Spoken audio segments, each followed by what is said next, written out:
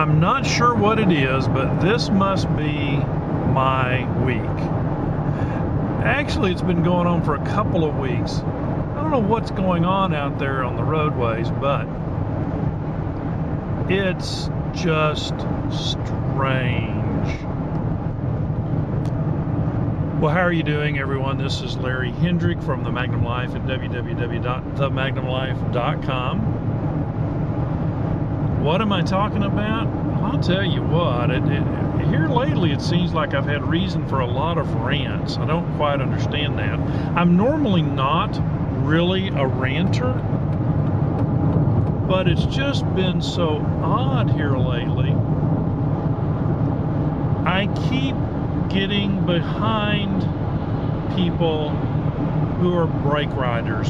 You know the brake riders?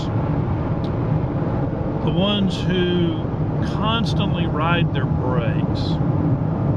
I haven't seen so many brake riders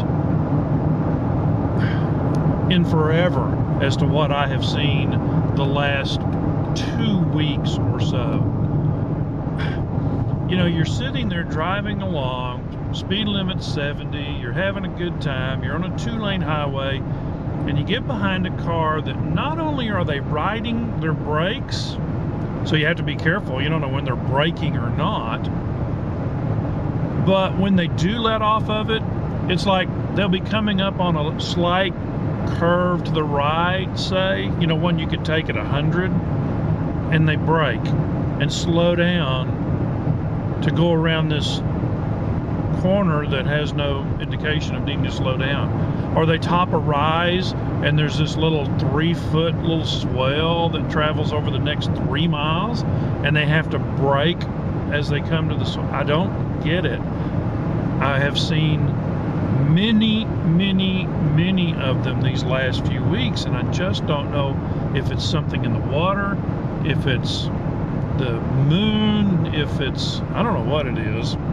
It just seems kind of odd. Well, I hate to go on and on about it, so I won't. I won't. Boy, if I can talk this morning. But I just, it just irks me. You know, if you're gonna ride the brakes, um, get off the side of the road and let me by. You know, I gotta go on. Sorry. well, that's it for the for today. Sorry. Uh, hey, let's be safe out there.